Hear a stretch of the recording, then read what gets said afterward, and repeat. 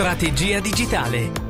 Idee, novità e consigli per imprenditori e professionisti appassionati di web marketing e business online. E business online. A cura di Giulio Gaudiano. Bentrovati da Giulio Gaudiano e benvenuti in una nuova puntata di Strategia Digitale. Ragazzi, oggi sto veramente a 2000 perché la scorsa settimana ho avuto una botta di testa, una botta di matto. Dovevo preparare la, le puntate di questa settimana e ho detto ma scusa, ma strategia digitale ha dei finanziatori che ogni mese ci mettono dentro dei soldi perché vogliono partecipare a questo progetto e pro- partecipano nel produrlo, ma non è la pianificazione, la parte editoriale parte di questa produzione?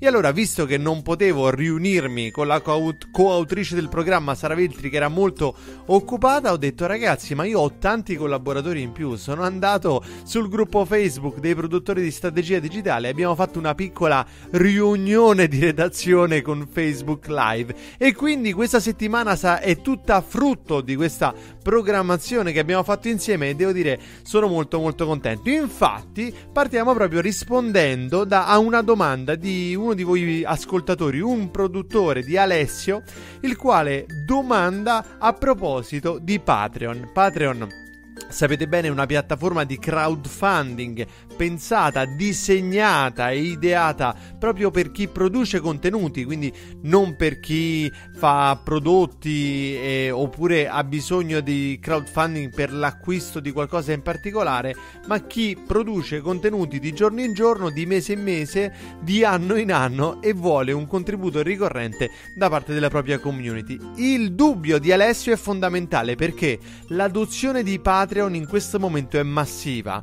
YouTube sta uscendo fuori di testa sul, sull'utilizzo di Patreon perché vede che eh, tanto potenziale di business viene utilizzato da Patreon, viene dirottato su Patreon invece che eh, essere interno alla piattaforma YouTube. Quindi sono contento di rispondere a questa domanda. Vi ricordo solo, prima di ascoltare la domanda da Alessio, che il modo migliore per farmi una domanda è andare su strategiadigitale.info, c'è un bel pulsantone e mi mandate la vostra domanda attraverso Telegram. Detto ciò, bando alle ciance, è arrivato il momento di ascoltare la domanda di Alessio Furlan a proposito di come utilizzare Patreon per il crowdfunding. Ciao Giulio, ti faccio una domanda relativamente a Patreon. Sto mettendo su un progetto che è molto simile al tuo in ambito fotografico, però. Quindi ho il mio podcast, eh, ho il, i miei materiali, ho degli ebook che sono dei manuali o dei corsi già creati che sono quelli che mi fanno vivere in sostanza praticamente con il mio progetto web. Io faccio questo di lavoro e vendo i miei videocorsi vendo i miei ebook sulla fotografia e, e va bene così. Stavo mettendo su il progetto Patreon legato al podcast che tratta fotografia e, e, e metterò eh, come ricompensa in base a quanto pagano gli utenti sia la possibilità di accedere ai manuali, quindi scaricarsi i manuali e sia accedere ai videocorsi come hai fatto tu esattamente. Il mio dubbio è, mh, mm, ti capita mai o, pot- o mi potrà capitare che ho degli utenti che magari eh, vanno eh, sullo store normale oppure vanno dove, dove possono accedere ai videocorsi, eh, pagano l'iscrizione al videocorso che è un prezzo elevato tutto sommato perché lo pagano una volta sola, stessa cosa per i manuali, li pagano una volta sola quindi eh, pagano un prezzo alto e magari poi si accorgono che esisteva Patreon, quindi esisteva la possibilità di pagare un po' meno per accedere ai stessi materiali, ovviamente però c'è la cadenza mensile, eh, però magari così dicono eh, porca miseria ho pagato 40 euro per scaricarmi i manuali quando magari eh, mi iscrivevo un mese a Patreon e con 20 eh, euro al mese il primo mese mi scaricavo tutti i manuali e poi potevo decidere se continuare a finanziare oppure ridurre il finanziamento. E secondo te come ci si comporta in questi casi oppure hai eh, tenuto nascosto Patreon e continui a vendere i videocorsi insomma vorrei capire come eh, ti vai a interfacciare con gli utenti Carissimo Alessio, la domanda è ottima, ottima domanda. E mi ha fatto anche un po' sorridere quando hai detto che cosa fai, tieni nascosto Patreon. No, io non tengo nascosto assolutamente nulla. E quello che c'è da capire per rispondere alla tua domanda è la differenza sostanziale tra eh, l'acquisto di un tuo prodotto o servizio e il finanziamento nei tuoi confronti. Che cosa voglio dire? Voglio dire che Patreon e il crowdfunding è una roba diversa dal eh, vendere un prodotto, un servizio, nel tuo caso un videocorso o un ebook ed essere ricompensato. Patreon non è una piattaforma per fare pagamenti ricorrenti o per incassare ragam- pagamenti ricorrenti, ok? Non è una software per gestire la membership da parte del, di tuoi clienti. Non è questo. È vero che delle, il suo funzionamento e delle sue caratteristiche lo renderebbero molto comodo per fare questa cosa ma il concept che sta alla base di Patreon è totalmente diverso. Patreon è una forma di crowdfunding ricorrente, non di pagamento ricorrente o di gestione di una membership ricorrente. Che vuol dire in soldoni, in parole povere? Molte persone forzano un pochino il funzionamento di Patreon per poter comodamente incassare importi ricorrenti di, di, varie entità, anche molto piccoli, da un numero molto grande di persone, cosa che soprattutto per la legislazione italiana e per il, la fiscalità italiana sarebbe un delirio. Cioè, io non potrei accettare un euro da mille persone e fare mille fatture, perché contabilizzare una fattura mi costa più di un euro dal mio commercialista e quindi non sarebbe conveniente. Allora molti utilizzano Patreon per poter raccogliere micropagamenti da tante persone su base ricorrente e poi incassare invece un solo pagamento da parte di Patreon. Ma Patreon non è pensato per questo e non funziona per questo. Allora ti spiego prima di tutto quali sono i motivi per cui non devi utilizzare Patreon per eh, gestire le tue membership o per fare pagamenti ricorrenti. Eh, il primo motivo è fiscale, proprio a livello legale. Eh, te lo dico perché sto portando avanti un'indagine attraverso il mio commercialista per capire se l'Italia accetta i soldi che tu prendi tramite Patreon come una donazione. Infatti, eh, non è così scontato che tu possa eh, regolare o possa dichiarare quei soldi come una donazione con relative tasse da pagare o non pagare. Eh, e quindi il mio commercialista sta svolgendo questa indagine. In ogni caso, una cosa che lui mi ha detto è un elemento fondamentale è l'allineamento o nel caso della donazione il disallineamento tra il pagamento di un eh, importo economico, il pagamento di denaro e il godimento di un bene o di un servizio. Cioè, se fondamentalmente le persone ti danno i soldi e tu gli dai il cammello, potete eh, utilizzare Patreon, potete utilizzare PayPal, potete utilizzare quello che vi pare per gestire questa transazione potete chiamarlo come vi pare, ma fondamentalmente tu stai vendendo un prodotto o un servizio. Quindi quella roba è una prestazione, è un, è un bene e devi pagare le tasse come se stessi vendendo qual- una roba. Se invece c'è un disallineamento, cioè tu mi dai dei soldi, poi io in cambio posso non darti niente eh, po- certo, magari ti ringrazio o magari non ti ringrazio neanche, magari ti mando un regalo o forse non te lo mando, ma c'è un disallineamento. Chi mi dà i soldi eh, non è non lo fa per avere in cambio un bene da godere o un servizio, lo fa per darmi i soldi, cioè la ricompensa di quell'azione di finanziamento è insita nell'azione di finanziamento.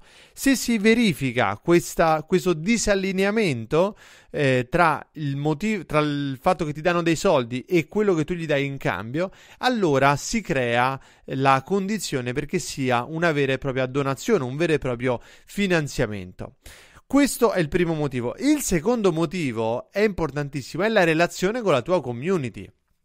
Cioè, giustamente tu ti sei posto il problema perché hai detto, ma poi le persone si straniscono, eh, allora lo devi tenere nascosto, non glielo devi dire, devi trovare il modo di incastrare queste due cose. Tu stai cercando di incastrare due dinamiche completamente diverse tra loro.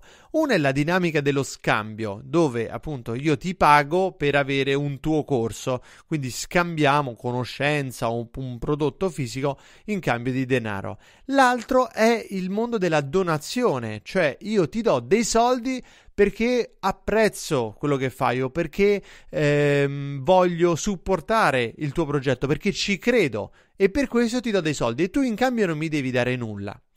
Patreon prevede la possibilità di dare dei rewards, delle ricompense, ma queste ricompense devono essere delle ricompense, cioè dei modi di dire grazie, eh, non vincolanti, non vincolati. Infatti Patreon non ti obbliga per il pagamento ricorrente, per esempio per la donazione ricorrente, non ti obbliga a mettere un bene ricorrente. Eh, molti mm, youtuber o podcaster eh, nel momento in cui tu accendi un finanziamento di 10 dollari al mese, ti mandano una maglietta.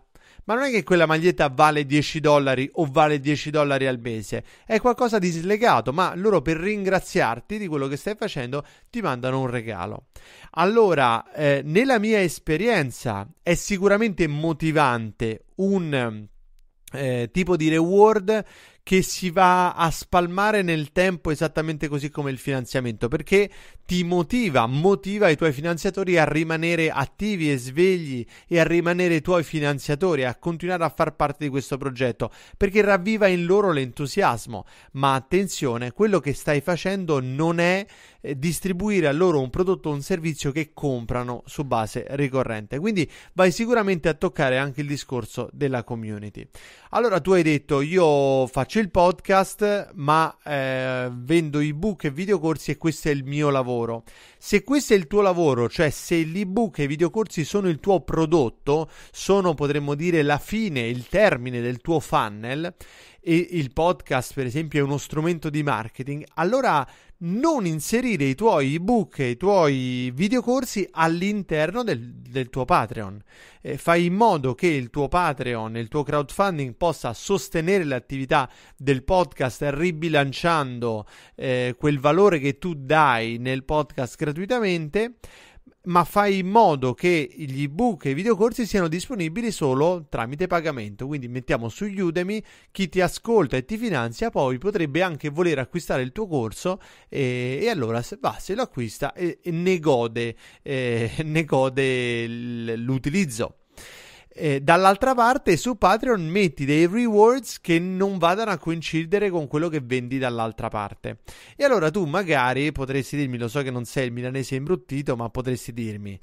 Uè Gaudiano, parli bene razzoli male. Tu ce l'hai messi i corsi dentro Patreon. Com'è che l'è? Ecco, ti spiego subito. Perché io ho i corsi all'interno di Patreon. Uno dei reward dà al, a chi finanzia strategia digitale la possibilità di accedere a tutti i corsi che ho creato. In, te lo, ti rispondo molto semplicemente. Eh, perché per me i corsi non sono un prodotto. Io non vivo dai corsi.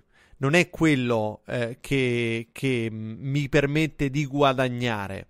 Eh, I corsi sono per me uno strumento di marketing, sono una, un passaggio che porta più vicino alla consapevolezza del, del, brand di Giulio Gaudiano come chi può aiutarti a sviluppare la tua strategia digitale, chi può aiutarti a orientarti nell'utilizzare il digital come strumento di business. Per me il corso è uno strumento di branding, così come il libro. Io non è che vivo dei libri. Poi la domanda è, eh, potrebbe sorgere spontanea ed è scusa, ma allora il, eh, ci guadagni dai libri, ci guadagni dai corsi? Certo che ci guadagno. Ah, perché allora l'hai messi a pagamento se per te non sono un prodotto? Li ho messi a pagamento perché per me il fatto di pagare un prezzo dà valore al eh, corso che stai fruendo o al libro che stai, legge- stai leggendo.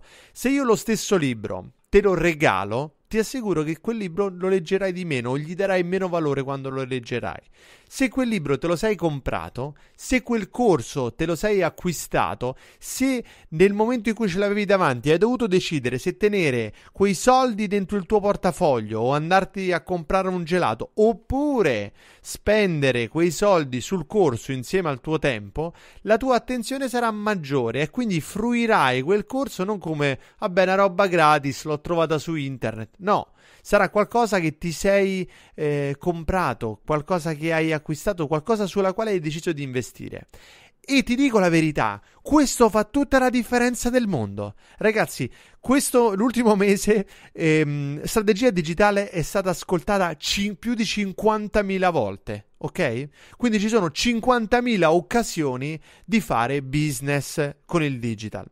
Io non è che quando faccio una consulenza o un coaching personalizzato a un mio cliente racconto cose che nel podcast non ho mai detto. Racconto segreti che a voi ascoltatori di strategia digitale non ho mai rivelato. No, ragazzi, la realtà è una, io sono sempre la stessa persona faccio sempre la stessa cosa sia quando creo il podcast sia quando faccio coaching a un mio cliente. Allora qual è la differenza?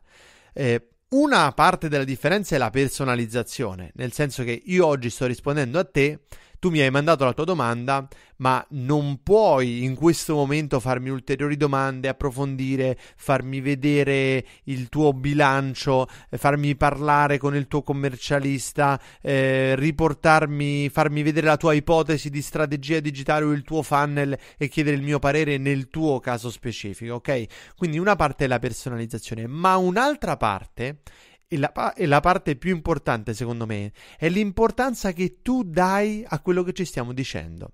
Se io e te fossimo in una sessione di consulenza e tu avessi pagato 500 euro più IVA per parlare con me per un'ora, come fanno i miei clienti, ti assicuro che que- ogni minuto, ogni istante, ogni parola di quella consulenza tu la prenderesti e faresti di tutto per spremerla, eh, tirandone fuori il valore, tirandone fuori un ritorno di investimento perché hai investito in questo tempo. Sono sicuro che di tutti voi che ascolterete questo podcast, questo episodio, ci sarà chi certamente dirà ammazza che figata allora vado subito a fare questa azione stimolato da quello che ho sentito. Ma c'è anche chi molto semplicemente arriverà alla fine ascolterà la sigla spegnerà il podcast e sentirà ascolterà l'episodio successivo. Oppure gli passerà così magari cambierà pure dirà vabbè oggi Giulio ci vuole fare lavorare. Ma io mi volevo un po' intrattenere ascoltando strategia digitale e cambierà stazione cambierà podcast. Quindi le informazioni il valore valore che le informazioni hanno e mo- molta di, questa, di, questo valore è dato dal valore che noi gli diamo, dalla, dalla um, fiducia, da quanto mettiamo noi, quanto scommettiamo, quanto mettiamo sul piatto, su questo tavolo, quanto eh, siamo disposti a giocarci in questa mano per ottenere quello che vogliamo dalla nostra strategia digitale. E allora, carissimo, carissimo Alessio, il discorso è tutto qua. Io eh, do la possibilità di acquistare i miei libri, do la possibilità di acquistare i miei corsi, ma per me libri e corsi sono uno strumento di marketing, uno strumento di branding, sono qualcosa che deve condurre le persone dall'aver scoperto che c'è questo strano tipo Giulio Gaudiano che fa un podcast, si chiama Strategia Digitale, fino al momento in cui, per chi naturalmente è destinato a questo, per chi può trarne un reale vantaggio, fino al momento in cui questa persona dice eh, voglio fare del business online e quello che mi può aiutare a partire da zero è Giulio Gaudiano. In questo percorso ci sono delle gradazioni, in queste gradazioni c'è anche ma a me sto Giulio Gaudiano mi sta simpatico, quasi quasi mi compro il suo libro su YouTube, infatti volevo fare dei video. Oppure, ma lo sai che sta cosa del podcast è carina? Ho visto che Giulio ha fatto un corso di podcasting, ma ora me lo compro, dai, tanto si fa online su Udemy. Quanto costa? Vabbè, dai, sì, mm, investo in questa cosa. Ecco, c'è tutto un percorso, tanto che molti dei miei clienti prima di diventare miei clienti nel coaching o nella consulenza, sono stati acquirenti di corsi o di libri da me scritti. magari ancora prima sono stati ascoltatori del podcast. E allora è tutto all'interno di un'unica strategia. Quindi per concludere, utilizza eh, Patreon come piattaforma di crowdfunding eh, dando valore alla tua community, eh, coinvolgendo questa community, avendo consapevolezza che le persone che vanno su Patreon vogliono finanziarti e devono voler finanziarti, cioè dillo chiaramente, non trasformare anche Patreon in eh, un, un, luogo dove ci deve essere un dare e avere. Di chiaramente, qua, come dico chiaramente io a tutti i produttori di strategia digitale, voi siete dei pazzi furiosi, siete dei pazzi perché state investendo in qualcosa che non, non vi dà niente in cambio, apparentemente, perché se voi investite in questa cosa, evidentemente qualcosa in cambio già ce l'avete avuto.